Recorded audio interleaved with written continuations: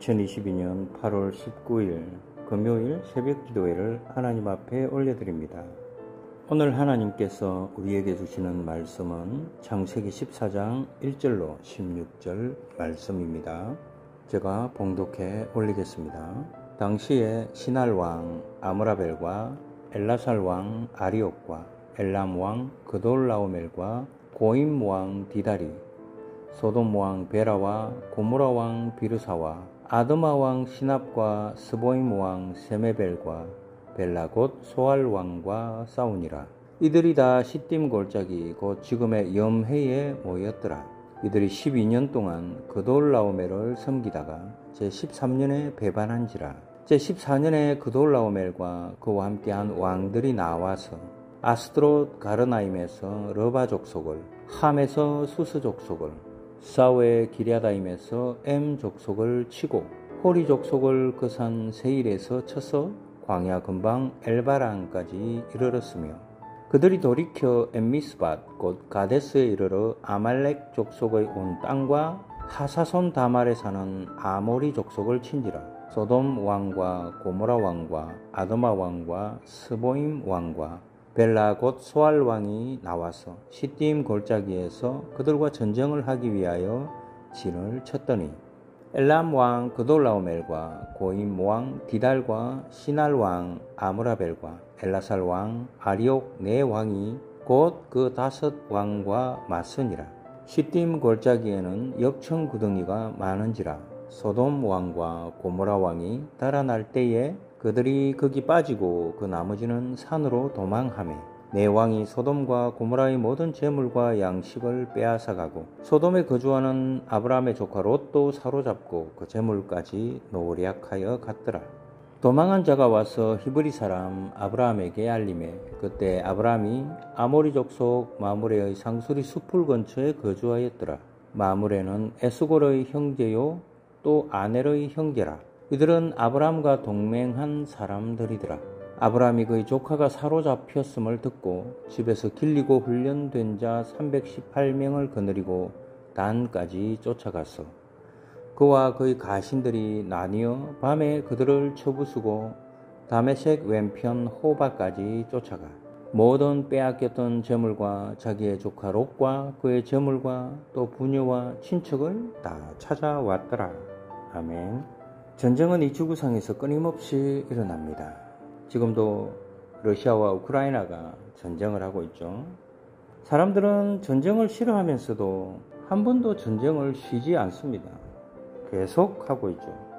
옛날부터 지금까지 무섭고 잔인하고 파괴적인 그 수많은 전쟁의 역사가 우리 기억 속에 있습니다. 우리나라도 그런 전쟁을 겪은 나라 중에 하나입니다. 그런데 이 전쟁이라는 것이 무기만 들고 싸우는 전쟁만 있는 것이 아니죠. 우리 생활 속에서도 있습니다. 가정 안에서도 있죠. 부부 간에, 자녀들 간에. 또 원하진 않지만 서로 부딪히고 상처 주고 괴롭히는 전쟁들이 얼마나 많이 있습니까? 그리고 더 나아가서 더 깊은 전쟁, 어디서 벌어집니까? 우리 마음 속입니다. 수없이 내 안에서 여러 마음이 싸우는 것을 볼 수 있죠. 내 마음에 있는 전쟁, 가정에서 벌어지는 전쟁, 민족이나 국가 간의 전쟁 모두 패턴은 어떻습니까? 다 똑같습니다. 그 전쟁의 끄트머리에는 항상 죄가 있습니다. 죄가 있기 때문에 전쟁이 끊이지를 않는 거죠. 야고보서 1장 보면 욕심이 잉태한 적, 죄를 낳고 죄가 장성한 적 사망을 낳느니라 라고 말씀합니다.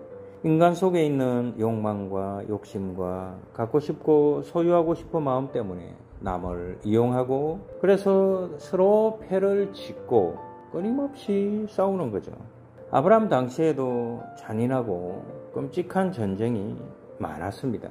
오늘 1절을 보면 당시에 시날 왕 아므라벨과 엘라살 왕 아리옥과 엘람 왕 그돌라오멜과 고임 왕 디다리 아멘 여기 나오는 네 명의 왕들은 한 그룹입니다. 전쟁은 단독으로 일어나지 않죠. 반드시 동맹군이나 연합이 있습니다. 이 네 명의 왕들은 지금 누구와 싸우고 있습니까? 2절에 나오는 왕들이죠. 소돔 왕 베라와 고모라 왕 비르사와 아드마 왕 시납과 스보임 왕 세메벨과 벨라 곧 소알 왕과 싸우니라. 이들이 다 시딤 골짜기 곧 지금의 염해에 모였더라. 아멘. 커다란 두 개의 팀과 싸웁니다. 이들이 싸우는 전쟁터는 시딤 골짜기, 지금 이스라엘의 염해, 곧 사해라고 부르는 곳이죠. 전쟁의 뿌리는 죄로부터 시작됩니다.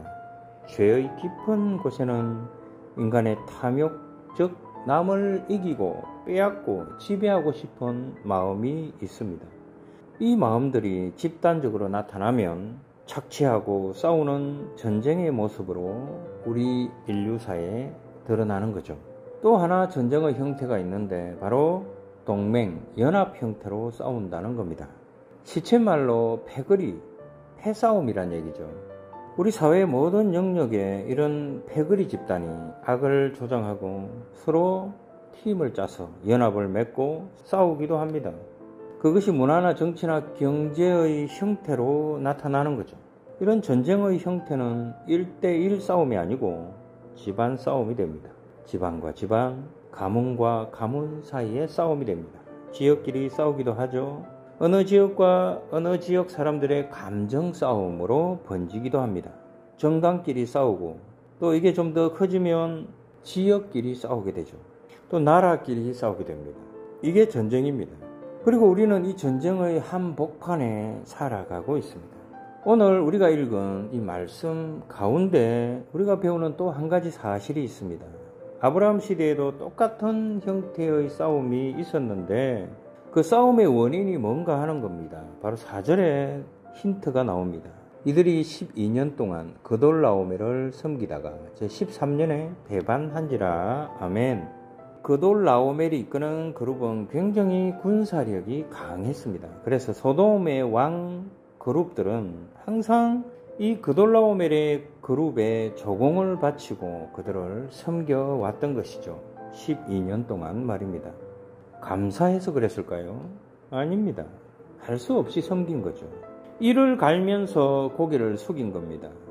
그들은 그렇게 생각했을 겁니다. 내가 힘만 생겨봐라. 반드시 복수하겠다. 내 말을 잘 듣는다고 정말 잘 듣는 것이 아닙니다. 마음속으로는 칼을 갈고 있는지도 모르죠. 소돔 왕들은 12년 동안 칼을 갈았습니다. 이제 어느 정도 힘과 세력이 생긴 것입니다. 그들은 13년이 되던 해에 드디어 고개를 들고 복수를 행동으로 옮깁니다. 이것을 성경에서는 배반이라고 말하고 있죠. 우리가 배반이라고 할 때는 약속을 지키지 않고 신의를 잃어버린 것을 의미하지만 배반하는 사람의 입장에서는 그렇지 않습니다. 그들의 입장에서는 12년 동안 억울한 일을 당한 사람들이죠.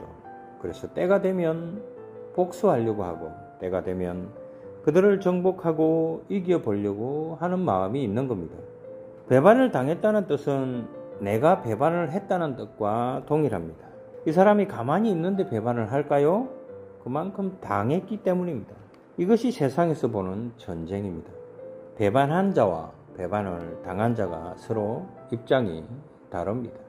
두 사람의 입장은 누가 잘못했고 누가 잘했다고 말하는 것이 어렵습니다. 배신을 당한 그돌라오멜의 입장에서는 내가 12년 동안 잘해줬더니 이제 감히 너희들이 나를 하고 화가 난 것이죠. 그래서 그돌라오멜 동맹군들이 가만히 있을 수 없다라고 생각하고 혼내주기로 합니다. 그리고 드디어 그들이 일어나기 시작합니다. 5절에서 7절 말씀입니다. 제14년에 그돌라오멜과 그와 함께 한 왕들이 나와서 아스트롯 가르나임에서 러바 족속을 함에서 스스 족속을 사웨 기레다임에서 엠 족속을 치고 호리 족속을 그 산 세일에서 쳐서 광야 근방 엘바랑까지 이르렀으며 그들이 돌이켜 엠미스밭 곧 가데스에 이르러 아말렉 족속의 온 땅과 하사손 다말에 사는 아모리 족속을 친지라. 아멘. 그돌라오멜의 동맹군들은 파죽지세의 힘으로 러바 족속, 수스 족속, 엠 족속, 호리 족속, 아말렉 족속과 아모리 족속들을 순식간에 쑥대밭으로 만들어 버렸습니다. 그리고 이제 소돔 왕과 고모라 왕을 중심으로 하고 있는 다섯 동맹 왕들을 치려고 합니다. 8절을 보세요. 소돔 왕과 고모라 왕과 아드마 왕과 스보임 왕과 벨라 곧 소알 왕이 나와서 시띠임 골짜기에서 그들과 전쟁을 하기 위하여 진을 쳤더니 아멘. 대접전이 일어났습니다. 왜 전쟁이 일어났습니까? 여러 가지 이유가 있습니다. 소돔 왕 연합에서는 12년 동안 억울하게 당했기 때문이라고 생각합니다. 그리고 그돌라오메르 입장에서는 배반 당했다고 생각합니다. 양쪽 논리에는 모두 일리가 있습니다. 그게 바로 전쟁입니다. 가정에서도 불화가 일어나면 이것과 마찬가지입니다. 남편 말을 들으면 그 말이 맞고 부인 말을 들으면 그 말도 맞는 것 같습니다. 또 자녀들의 이야기를 들어보면 그들이 소리 지르고 가출하는 이유가 있다는 것도 알게 됩니다.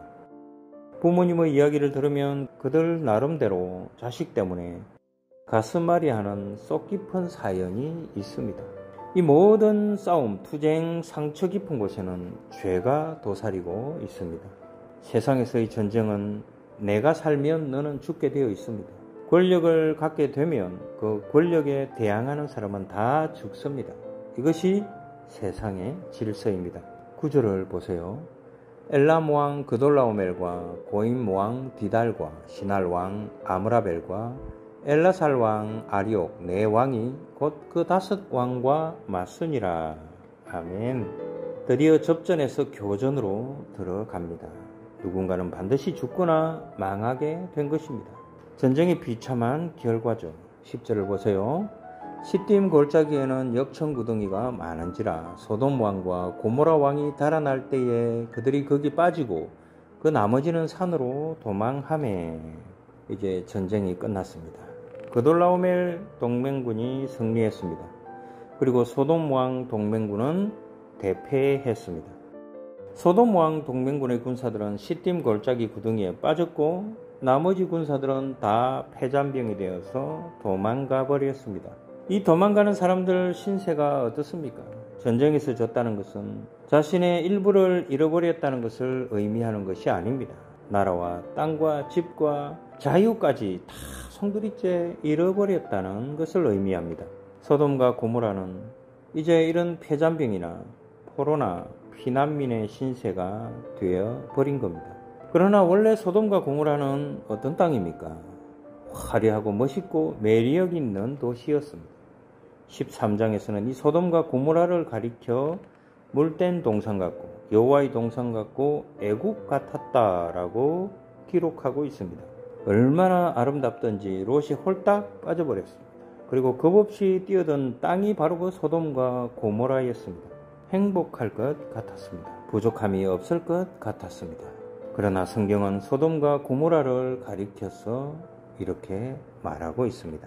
소돔 사람은 여호와 앞에 악하며 큰 죄인이었더라. 아멘. 아름답고 화려하고 살만한 도시인 소돔과 고모라가 겉으로는 멋있게 보였을지 모르지만 거기에 사는 사람들은 악했습니다. 성적으로나 도덕적으로나 너무나 타락해서 하나님이 불과 유황으로 진멸해버리지 않으면 안 될 정도였습니다. 사람들은 화려함만 보지 그들의 도덕성을 보지 않습니다. 대부분의 사람들은 멋있는 외모만 중요하게 생각합니다. 11절과 12절을 보십시오. 내 왕이 소돔과 고모라의 모든 재물과 양식을 빼앗아 가고 소돔에 거주하는 아브라함의 조카 롯도 사로잡고 그 재물까지 노략하여 갔더라. 아멘. 소돔과 고모라의 패배는 그 안에 살고 있던 롯의 패배와 파멸을 의미합니다. 아브라함이 자기를 떠난 롯이 소돔과 함께 집과 모든 재산을 다 빼앗기고 노략질 당했다는 소식을 듣게 됩니다. 아브라함은 고민합니다. 롯이 어떤 사람입니까? 믿음의 사람이 아니었죠. 아브라함에게 신세를 지고 동행했지만 늘 아브라함을 불편하게 하고 고통을 주고 손해를 줬던 사람이었습니다. 롯이 떠난 다음에 아브라함은 참 속이 편했을지도 모릅니다.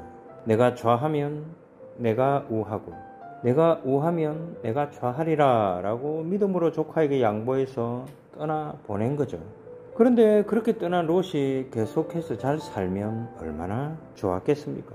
우린 가끔 이런 경험 합니다. 나를 괴롭히고, 나를 실패하게 하고, 나를 힘들게 했던 어떤 사람이 어느 날 그 사람의 소식을 들었을 때 암에 걸려 다 죽게 되었다는 소식을 듣게 되는 경험 말입니다. 그러면 우리 마음이 어떻습니까? 참 속 시원하다. 참 잘했다. 이렇게 생각하는 사람은 세상 질서 속에 사는 사람입니다. 믿는 사람들은 비록 나를 힘들게 하고 어려움을 주고 떠났다 하더라도 그런 사람이 어려워하고 아파하고 힘들어할 때는 같이 아파하고 힘들어 할 줄 아는 사람들입니다. 바로 이런 사람이 아브라함이었습니다. 13절을 보세요. 도망한 자가 와서 히브리 사람 아브라함에게 알리니 그때 아브라함이 아모리 족 속 마므레의 상수리 숲을 근처에 거주하였더라. 마므레는 에스골의 형제요 또 아넬의 형제라. 이들은 아브라함과 동맹한 사람들이더라. 아멘. 믿음의 사람 아브라함이 조카 롯이 소돔 땅을 선택했다가 큰 위기에 빠져 있다는 것을 보고 무관심할 수가 없었습니다. 믿음이란 무엇입니까? 내가 사랑하고 내가 믿었던 사람이 어려움에 닥쳤을 때 행동하는 것입니다. 설령 그 사람이 나를 실패하게 하고 망하게 했다고 해도 그렇게 하는 것입니다. 믿음은 생각하는 것이 아니고 계산하는 것이 아니고 움직이는 것입니다. 형제가 어려움에 빠졌을 때 방관할 수도 있고 모른 척 할 수도 있는 거죠. 또 어떤 사람은 걱정하고 염려해 주는 척 하면서 속으로는 고소해 하는 사람도 있습니다. 그러나 아브라함은 그렇지 않았죠. 진정으로 가슴 아파했습니다. 조카 롯을 도와줘야겠다 라고 생각합니다. 이것이 믿음의 사람이 움직이는 것입니다. 아브라함은 계산하지 않았습니다. 염려하고 고민만 하고 앉아 있지 않았습니다. 그는 움직였습니다. 14절과 15절을 보십시오. 아브라함이 그의 조카가 사로잡혔음을 듣고 집에서 길리고 훈련된 자 318명을 거느리고 단까지 쫓아갔어. 그와 그의 가신들이 나뉘어 밤에 그들을 쳐부수고 다메색 왼편 호바까지 쫓아가. 아멘. 아브라함은 롯이 소돔 땅으로 간 후에 군대를 키웠습니다. 318명이 있었습니다. 아브라함은 가만히 있을 수 없다고 생각했죠. 이 가신들을 데리고 이 318명의 군사들을 데리고 움직여야겠다고 생각합니다. 믿음은 무엇인가를 행하는 것입니다. 믿음이 있는 사람들은 그냥 주저앉아 있지 않습니다. 생각만 하고 있는 것이 아니라 주판만 튕기고 있는 것이 아니라 주판 알만 튕기고 있는 것이 아니라 뭘 할 수 있는지 최선의 것을 행하는 것입니다. 불가능한 것을 도전해서 없는 것을 있게 만들고 안 되는 것을 되게 하고 하나님이 우리에게 주신 그 모든 능력들을 동원해서 하나님이 기뻐하고 하나님께 영광 돌리는 일이라면 뭐든지 행하는 사람들. 아브라함이 바로 그런 사람이었습니다. 아브라함은 주저하지 않았습니다. 즉시 움직였습니다. 우리는 과거에 우리에게 상처를 준 사람에게 기회만 있으면 복수하려고 하죠.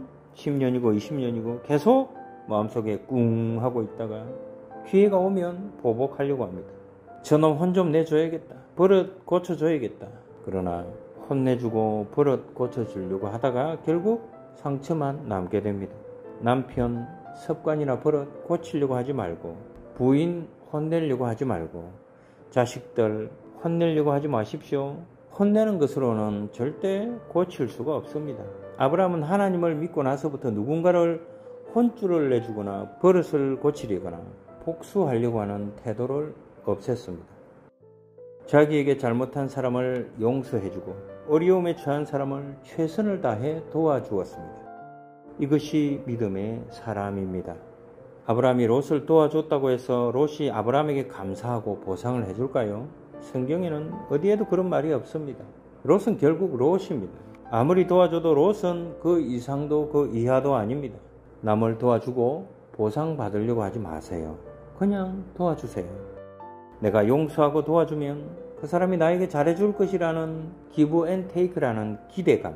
그건 오히려 상처만 받게 하는 것이고 세상 질서일 뿐입니다. 14절과 15절에서 한 가지 더 배울 사실이 있죠. 아브라함이 자기 자신의 군사적 힘이 얼마나 큰지 318명밖에 안 되는 군사를 데리고 가면 어떻게 될지 계산도 안 한 채 그냥 행동했다는 겁니다. 생각해 보세요. 소돔과 고모라 왕도 대패했습니다. 그돌라오멜의 군대가 모든 족속들의 군대를 상대로 이겼습니다. 그런데 고작 아브라함의 군대가 318명 뿐인데 능력이 있으면 얼마나 있겠습니까? 보통 사람 같으면 계산했겠죠. 계산기 막 두드리고 있었을 겁니다. 그리고 이 숫자 가지고는 어림도 없다. 계란으로 바위치기다. 그리고 자기를 설득했을 것입니다. 똑똑한 사람들이 그렇죠. 계산이 너무 빠르다는 겁니다. 자신의 지식과 경험과 상식으로 앞뒤 계산해서 그렇게 시작하기 때문에 결국 손도 못 대고 끝장나는 겁니다. 과연 상식과 이성이 할 수 있는 일이 뭘까요? 이성으로 따져보면 이스라엘 민족은 홍해를 건너지 못했습니다. 상식으로 따지면 예수님께서는 십자가를 질 수 없었습니다. 믿음으로 행한 것만 남아 있습니다. 내가 할 수 있느냐 없느냐, 주머니 사정이 좋냐 안 좋냐, 그건 그 다음 이야기입니다. 중요한 것은 이것이 하나님의 뜻인가 믿음의 사람이 선택할 길인가 하는 겁니다. 손해보는 일, 내 힘으로는 역부족일 것 같을지라도 하나님이 기뻐하시는 일이기 때문에 무엇인가를 한다는 거죠. 하다가 쓰러질지라도 가다가 포기할지라도 우리는 그 길을 가지 않으면 안 된다고 생각하기 때문에 가는 겁니다. 여러분에게 이런 믿음의 모습이 있기를 바랍니다.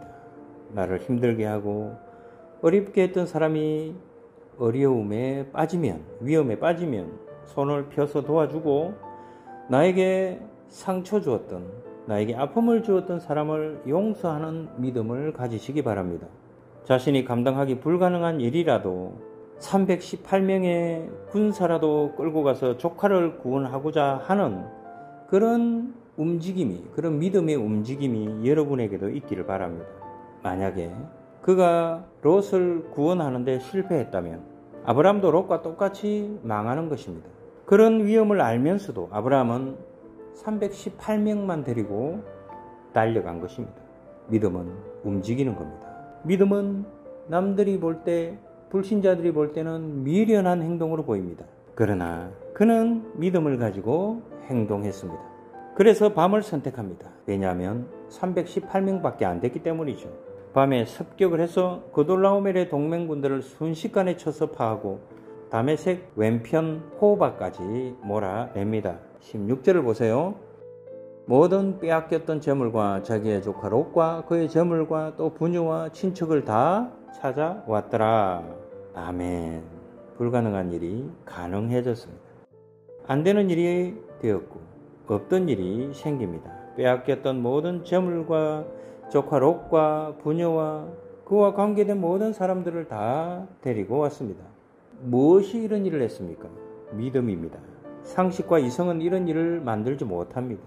아브라함의 믿음과 하나님의 도우심이 이런 일을 성공시킬 수 있었습니다. 하나님은 믿음을 가진 자를 돕습니다. 하나님은 믿음이 없는 자를 돕지 못합니다. 어떻게 돕겠습니까? 믿음이 없는데. 하나님이 여러분을 돕고 싶어도 어떤 근거나 계기나 연결고리가 있어야 하나님이 도울 수 있지 않겠습니까? 그래서 예수님께서 늘 치유하시고 이런 말씀을 하시죠. 내 믿음이 너를 구원하였느니라. 하나님은 믿음으로 한 것만 관심 있게 보고 계십니다. 여러분의 능력과 상식과 경험과 계산과 이론으로 어떤 일을 할 때는 하나님이 거기에 간섭하고 개입할 이유가 없습니다. 기도 안 하는 사람에게 하나님이 어떻게 응답을 하고 믿음이 없는 사람에게 어떻게 하나님이 응답 하시겠습니까? 여러분이 믿음의 사람, 기도의 사람이 되기를 축원합니다. 하나님께 믿음으로 나가는 사람들이 다 되시기를 예수님의 이름으로 축원합니다.